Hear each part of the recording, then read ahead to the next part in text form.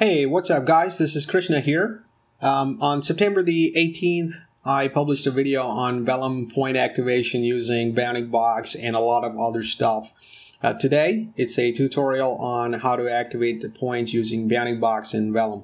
Uh, if you have not watched the um, video, uh, here's a sample.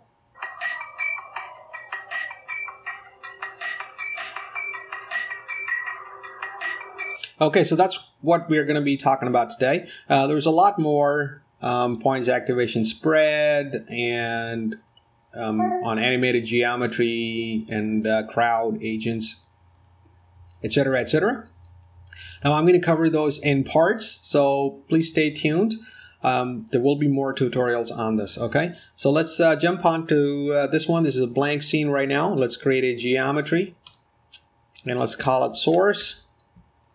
Let's go in, let's create a pig head, and let's transform this a little bit above the ground plane, and that would be about two. Now let me set this up so that we can visualize it easily. Create a camera.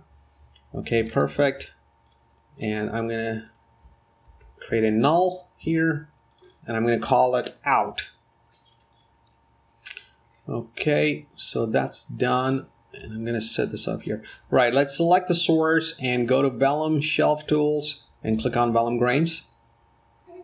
Okay, so there it is. It's done its magic and created some nodes for us. I'm just going to set this up accordingly. Okay, great. And let's go back into source and increase the resolution of the grain uh, where it's the grain size. And I'm going to change it to 0.3 so that it's slightly denser and let's go into auto AutoDOP network and create a ground plane. And uh, let's connect it to merge which is fine perfect. And let's play this back and see what happens. Right the pig head is falling and uh, it's crashing into the ground which is perfect. Okay great. Now let's go back in a source. Now this is where the magic happens. Um, once the grain constraints after the grain constraints node we're going to create something here, okay? So let's let's create a box and let's set that on the display flag and we're going to transform, make it as big as the pig head. I'm pressing E, making this size bigger, slightly bigger. I'm pressing T to move it and pressing E again to cover the entire pig, okay? So there it is. I'm going to make it to wireframe so that I can see what's going on. Moved it to front view and moved it just up above the pig head. Okay, so let's go back into camera now. Oops, actually, this is not. Okay, there you go. So that looks pretty good now. And we're going to create a group create node whereby the second input is the box, and the first input is the actual geometry. And now we're going to group type, set the group type to points. We're going to call the group name to activate. Oops, activate. And we're also going to set it to the keep in bounding regions and change this to bounding object. That way, you will see when we bring the box down, let me just bring it down here. Bring the box down. There. They are your there are your points which are now in activate group, okay? So I'm just gonna go back and um, reset that. Let's animate this box. Let's click on Alt translate. For the first 24 frames, the box is going to stay where it is at. And from 24 to 48, it's gonna move just about there. Let me go to the front view. Okay, so that means it covers the entire pig head, okay. Okay, perfect. And let me create, let me click on the Alt and click on Translate. Okay, so that way, let me just click on this time and the box moves down after the 24th frame. First 24 frames, not doing anything because I want you to see that nothing happens during that time. Obviously, creating just a group will not make any difference. So let me create a point wrangle here. and let me type in a little bit of code. If at group underscore activate equals 1, then i at stopped equals 0. Else, sorry, it's going to have to be 3. Else, i at stopped equals 0. Now, i at stopped is the parameter that it uses to activate or deactivate the vellum points, and this is very important, okay? So that's that, and let's, that means it's set up right now, and it should technically work. And let's check it out. Does it work? No, it doesn't. It just crashes right down, okay? That means there's something wrong.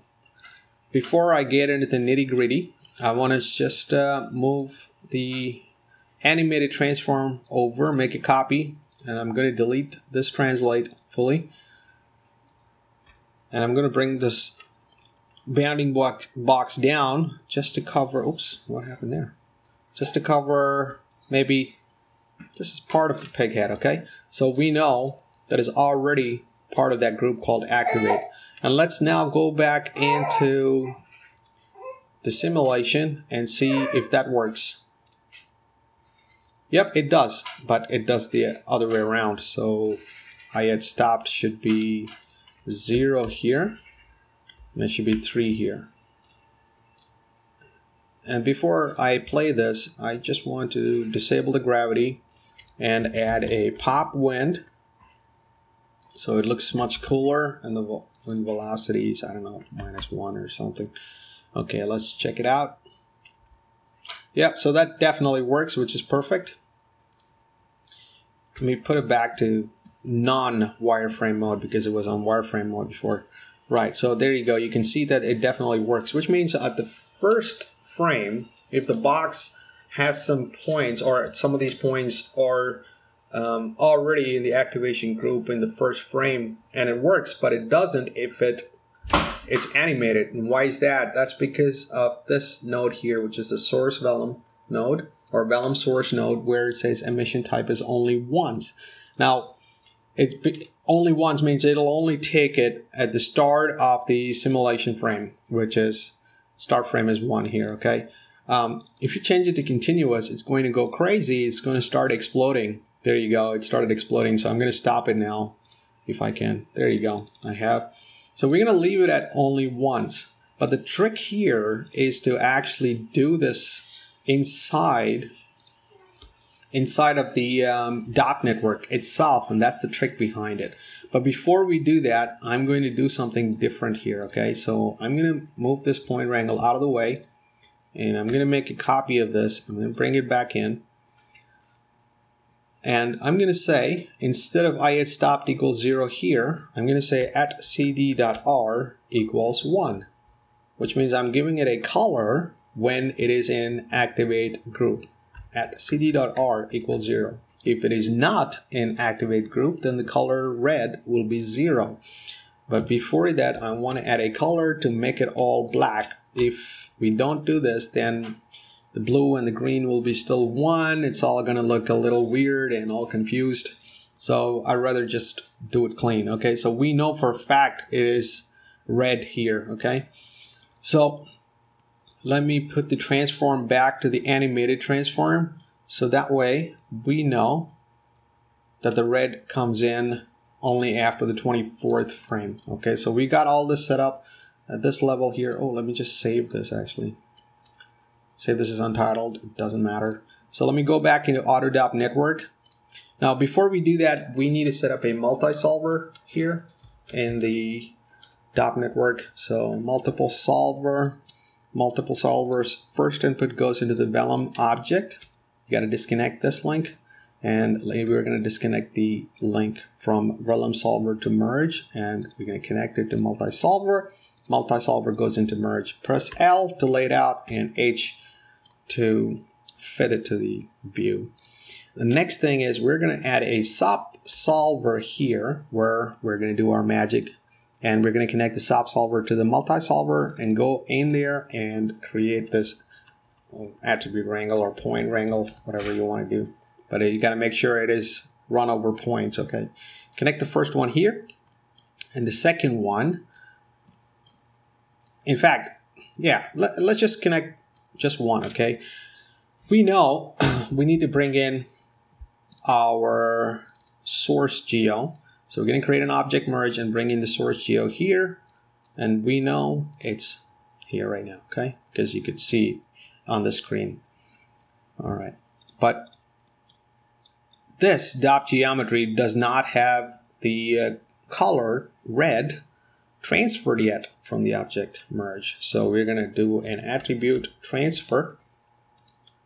And this is attributes to, which is this one, and attributes from, which is this one.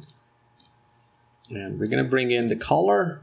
We're going to leave the conditions on default and connect this to the attribute wrangle. Okay. Now we know that the color has come in. So we're going to say if at cd.r equals 1, then i at stopped equals, oops, i at stopped equals 0. Ah, I'm missing the p there.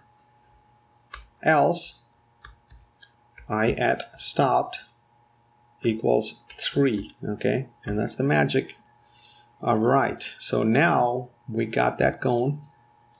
Let's see if this works.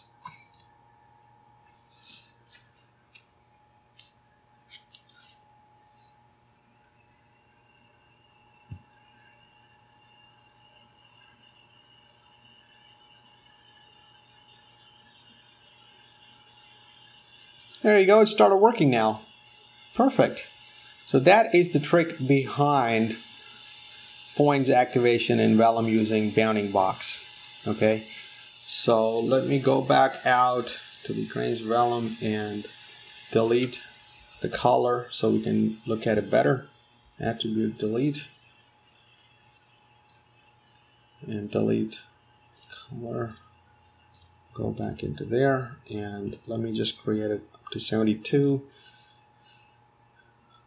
Start a flipbook and let's see if it, yeah, there you go. Bam, it's done. So that's how you do it. So the first 24 frames, nothing really is happening as you can see. And then after the 24th frame, the bounding box comes in and the point starts moving, okay?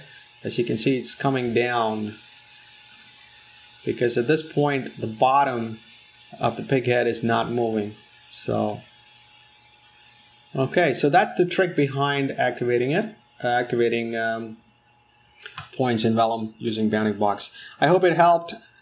Um, there will be more tutorials, as I said earlier. Uh, please subscribe, like, and share. Um, and do not forget to click on that bell icon for notifications. Thank you very much. Have a good day.